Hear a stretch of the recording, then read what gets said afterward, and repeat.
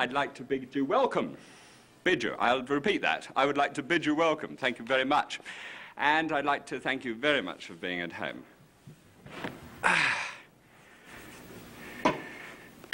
I have the most ridiculous dish that you would ever imagine in your life being done. It is a dish which nobody in their right mind would ever do on television. In fact, would never in their right mind do at home. I don't expect you to do it, except if you're grabbed by the whole thing and think to yourself, gosh, that's almost indecent. I think I'll have a go. I'll tell you where it comes from.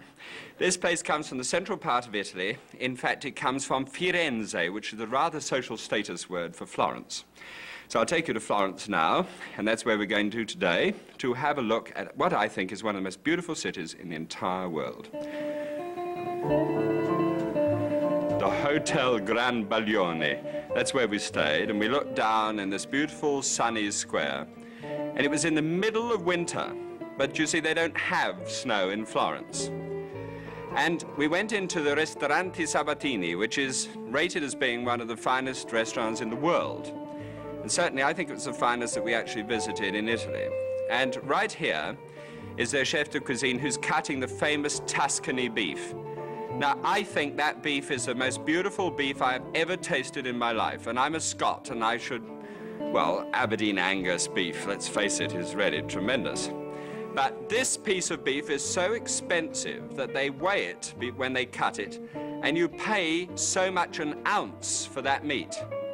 Look at that great T-bone there, that enormous hunk of beautiful succulent flesh being grilled so it's crusty on the outside.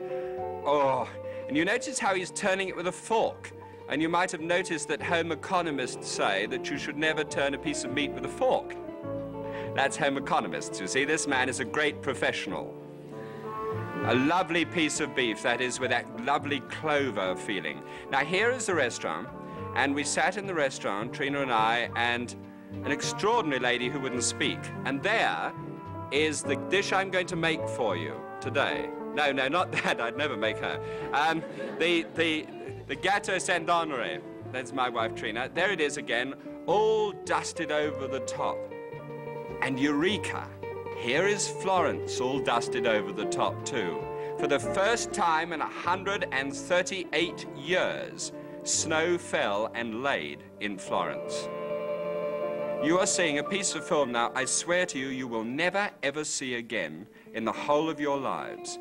That beautiful city with a foot of snow right over the top of it.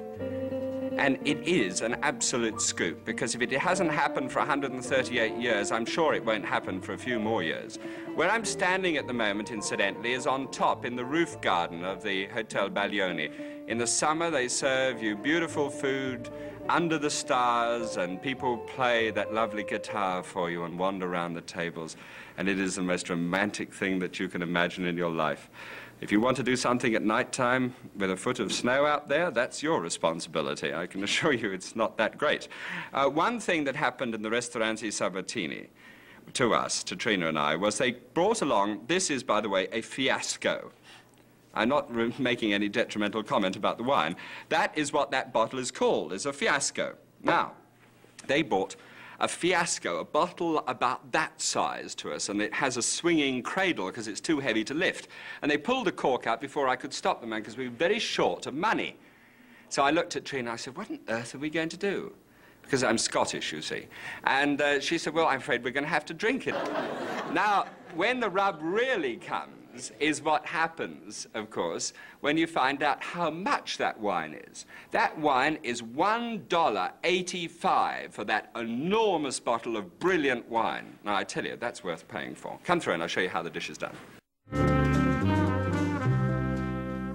So first of all, I've got some water on the boil there, and there's 10 fluid ounces of water there. And over here, I have a, one of these candy thermometer things.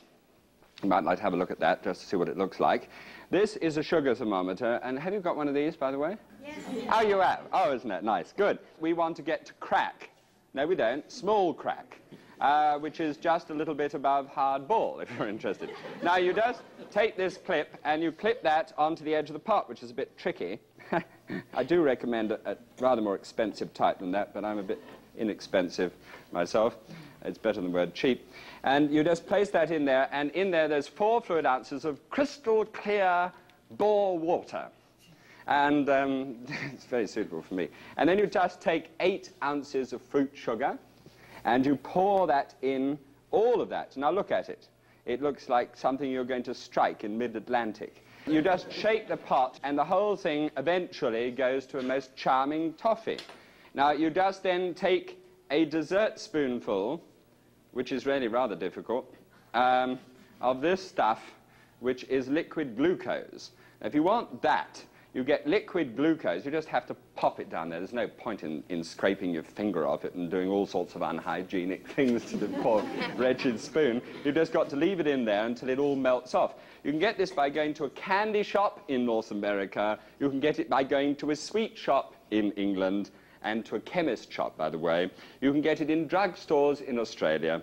And I don't know where you can get it, chaps, in Singapore and Hong Kong and Manila. But you know, if you look around a bit, I'm sure you'll find it. All right, so there is 10 fluid ounces of water. Well, at least it was 10 fluid ounces of water. It seems to boil down a little bit. It doesn't really matter. Uh, here, you, you add to that two ounces of butter. Natural, beautiful dairy butter that everybody seems to be scared of nowadays. Fancy being scared of a cow. I mean, it is ridiculous the things we get scared of nowadays, isn't it? Really. Uh, so you just put the butter into that hot water and you just raise the temperature a little bit until the, the, the little, I love this. You don't get it, by the way, in, a, in a, addressing myself to Australia uh, at the moment and England. You don't, uh, when it says, when you mean uh, this thing, uh, come here, have a look at this. When, when you've got this, this thing here, this dial, and it says M high and M low and low and things, in England and Australia, of course, it says, it says H-I-G-H. But this is a friendly range. It says hi, like that, to it. hi. Every time I turn it on, I want to go hi back again. You know.